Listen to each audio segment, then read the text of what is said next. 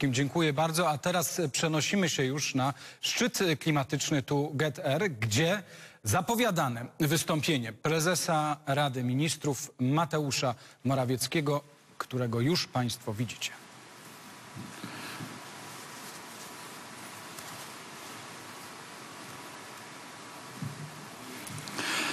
Szanowni Państwo, czyste środowisko, czysty klimat, piękne rzeki, czyste powietrze to jest nasz narodowy cel. Można powiedzieć, że jest to wielkie społeczne wyzwanie, ale jednocześnie też nasz cel. Cel, od którego na pewno nie odstąpimy. Musimy w związku z tym przebudować bardzo wiele elementów naszego życia gospodarczego i życia społecznego. Ale ten cel musi uwzględniać pewną nadrzędną wartość. I tą nadrzędną wartością jest życie całego społeczeństwa. Życie oczywiście właśnie w tym czystym środowisku, w zdrowym, czystym środowisku i dobrym klimacie. Ale jednocześnie musimy wszyscy zdawać sobie sprawę z tego, że są szerokie rzesze społeczeństwa, które nie mogą ponosić zasadniczego kosztu transformacji energetycznej. Wszystkie nasze działania muszą prowadzić do tego, żeby ten koszt transformacji był rozłożony właściwie. A właściwie to znaczy tak, że te grupy społeczne, które są najmniej uposażone, te, które najbardziej są uzależnione również od dotychczasowego naszego modelu energetycznego, muszą mieć perspektywę zmiany i my o taką perspektywę zabiegamy, o taką perspektywę się staramy i to również jest nasze zobowiązanie, to również jest nasz cel, żeby doprowadzić do zmian klimatycznych na zasadzie takiej, która będzie sprawiedliwa społecznie. I stąd ten fundusz, który negocjowaliśmy z Unią Europejską. Stąd fundusze nasze, krajowe, budżetowe, które mają być również skierowane w stronę zmian klimatycznych, w stronę wsparcia zmian klimatycznych i transformacji sektora elektroenergetycznego i wielu innych sektorów gospodarki narodowej. Stąd one wszystkie muszą uwzględniać właśnie te elementy społeczne, o których powiedziałem. Wśród wielu dyskusji, które wysłuchałem, w których uczestniczyłem i które dotyczyły zmian klimatycznych, często brakuje mi położenia akcentu na mm, coś, e, co jest zjawiskiem, można to nazwać, słoń w pokoju. Otóż bardzo wiele osób rozmawia o węglu, a w mniejszym stopniu porusza się temat emisyjności transportu, a w szczególności po prostu e, tego nośnika mm, energetycznego, jakim jest ropa naftowa. A ropa naftowa mm, jest odpowiedzialna za około 1 trzecią, 1 czwartą, w zależności od obszarów e, geograficznych, e, całej emisji. I co to oznacza z naszej polskiej perspektywy? To oznacza, że nasz cel elektromobilności, postawienie na czysty transport, czysty transport w miastach, w mniejszych miejscowościach, na elektryczne autobusy, ale także elektryczne samochody, na hybrydowe samochody, wodór. To cel, który zauważony został przez nas parę lat temu i bardzo mocno jest promowany, a jednocześnie dzisiaj staje się coraz istotniejszy na arenie międzynarodowej. Staje się coraz wyraźniej celem numer jeden w polityce klimatycznej bardzo wielu krajów. A dla nas, z naszej perspektywy, warto podkreślić jeszcze jeden aspekt, bo to, że powietrze będzie czystsze, że będziemy zdrowsi dzięki temu, jeżeli nasze samochody, nasze autobusy nie będą jeździły na, na ropę, na benzynę, tylko wreszcie będą jeździły na, mm, będą elektryczne, bądź wodorowe, bądź napędzane będą jeszcze innymi czystymi paliwami.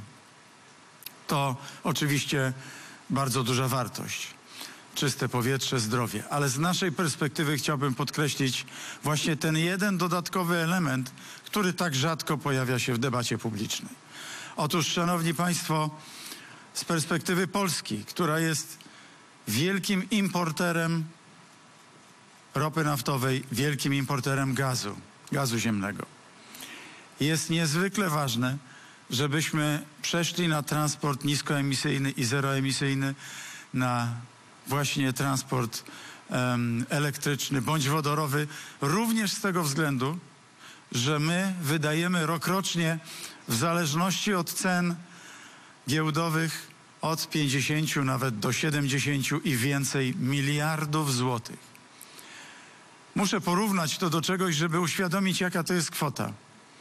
To co najmniej dwukrotnie przekracza netto środki z Unii Europejskiej, które wpływały do Polski średnio rocznie w tej perspektywie budżetowej, która właśnie mija. To więcej niż budżet na edukację. To zdecydowanie więcej niż budżet Ministerstwa Kultury, Ministerstwa Sportu całoroczny. To wreszcie około połowa budżetu rocznego na służbę zdrowia. To są gigantyczne pieniądze. Naszym narodowym celem powinno być odejście od tych paliw kopalnych, zwłaszcza tych, które powodują znaczący ubytek w finansach publicznych i znaczący ubytek w kieszeni, w portfelach gospodarstw domowych i polskich przedsiębiorców. Proszę wyobrazić sobie Polskę, która będzie nie tylko czystsza, ale właśnie bogatsza o te 50, 60, a nawet 70 miliardów złotych rocznie. To o to toczy się walka. Dla nas, z naszej perspektywy, oczywiście, że gospodarka o mm, zerowej emisji, o zerowym bilansie, przede wszystkim emisji, zerowy bilans emisji możliwy w ciągu paru dziesięciu lat, w zależności od dostępności technologii, będzie sprzyjał również Polsce w rozwoju gospodarczym. Ale podkreślam raz jeszcze, ten proces, ta transformacja energetyczna i gospodarcza musi się odbyć w środowisku sprawiedliwym. W sposób sprawiedliwy, dzieląc wszystkie obciążenia, które się w takiej sytuacji pojawią. A dzięki temu będziemy mieli do czynienia z ogromną po poprawą bilansu handlowego, z ogromną poprawą bilansu rachunku bieżącego, a w ślad za tym ze zasadniczą poprawą naszej międzynarodowej pozycji walutowej netto. To są, Szanowni Państwo, wartości budżetowe, finansowe, ekonomiczne, makroekonomiczne, ale to są wreszcie tak naprawdę wartości arcypolskie z tego względu, że to właśnie Polska i Polacy skorzystają na tak rozumianej transformacji, jak to, co dzisiaj tutaj przedstawiam. Te wielkie środki chcemy użyć nie tylko na poprawę jakości powietrza, ale także, może przede wszystkim na poprawę jakości życia mm, Polaków, na poprawę służby zdrowia i ten proces ze sobą jest powiązany. Ja patrzę na to całościowo.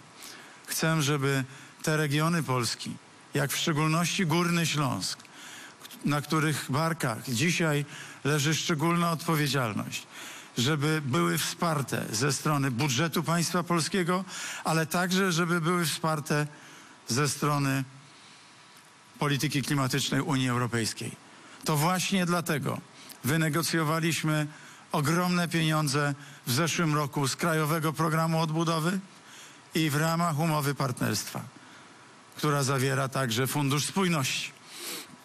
Te fundusze, bezprecedensowe fundusze, które dotrą do Polski już wkrótce, bo jestem przekonany, że będziemy w stanie zbudować odpowiednią większość, odpowiedzialną większość w parlamencie polskim po to, aby te pieniądze służyły sprawiedliwej transformacji systemu energetycznego, sprawiedliwej transformacji klimatycznej. I dzięki temu będziemy w stanie zbudować przestrzeń do lepszego, szybszego rozwoju. Już w najbliższych nie tylko latach, ale miesiącach i kwartałach. Z całą pewnością odczujemy nie tylko ulgę w obszarze epidemii, walki z COVID-19, ale właśnie dzięki także dodatkowym środkom z budżetu państwa polskiego i z budżetu europejskiego. Środkom ogromnym, takich, takim, jaki w historii Polski do tej pory nie było. Będziemy w stanie ten nadrzędny cel Polski zrealizować. A ten nadrzędny cel to sprawiedliwa transformacja energetyczna, sprawiedliwa zmiana klimatyczna, czyste powietrze, zdrowsze społeczeństwo i dzięki temu wszyscy Polacy będą mogli żyć w po prostu lepszym kraju. Dziękuję bardzo. Premierowi. To premier Mateusz Morawiecki na szczycie klimatycznym tu GetR i słyszeli Państwo wyraźnie tę zależność. Czyste powietrze i nasze zdrowie. I o tym mówił premier, że chcemy doprowadzić do zmian klimatycznych, które będą sprawiedliwie społeczne. Między innymi Polska będzie stawiała na elektromobilność i to, aby nasze samochody, autobusy były napędzane e, czystym paliwem. Mowa tutaj chociażby o paliwie wodorowym, ale także o elektrycznych autobusach e, i e, samochodach. Andrzej Duda u boku Joe Bidena